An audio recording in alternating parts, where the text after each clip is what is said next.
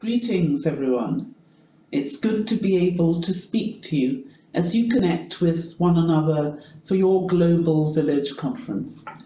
Connecting with each other is one of the main advantages we enjoy as members of the Commonwealth family of nations.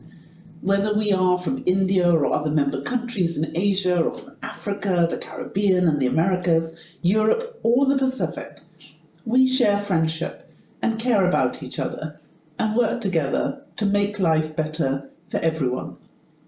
The 54 member countries of the Commonwealth are spread across every continent and ocean, and together we account for one third of the world's population. Of the 2.4 billion people who live in the Commonwealth, 60% are under the age of 30. So although we are a long established family, we are still a young family. This means that we look to the future with great hope and with big plans for making our world a better place in which we can all live together in health, peace and prosperity. That seems to me also to be the purpose and idea which motivates Pangaea, and so, in the same way, that we draw encouragement and support from one another as individual women and girls, men and boys, we also draw strength and broader vision when we work together across communities and the boundaries of nations. Access to education for all, irrespective of the ability to pay, is an aspiration which the Commonwealth is ready to do everything it can to achieve.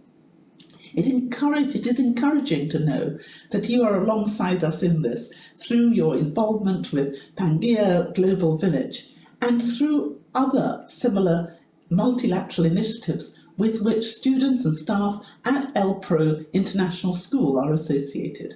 I commend your commitment to becoming truly global citizens and your readiness to contribute to making our world a better place for all.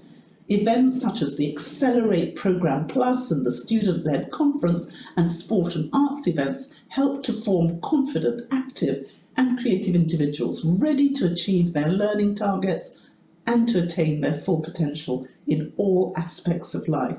The ELPRO mission of providing a broad and balanced international curriculum and optimal learning environment for children and building a community of mindful, impactful and empathetic students aligns closely with the shared vision and values of the wider Commonwealth and our determination to deliver a brighter future for children and young people in all our member countries. In wishing you well for the Pangaea Global Village Conference, I would emphasise the importance of all schools being places of peace, hope and reconciliation. Working together in the Commonwealth and alongside governments and other multilateral organisations, let us spread that message and ensure that other children and young people in all parts of our wonderful world are able to join as fellow global villagers and classmates.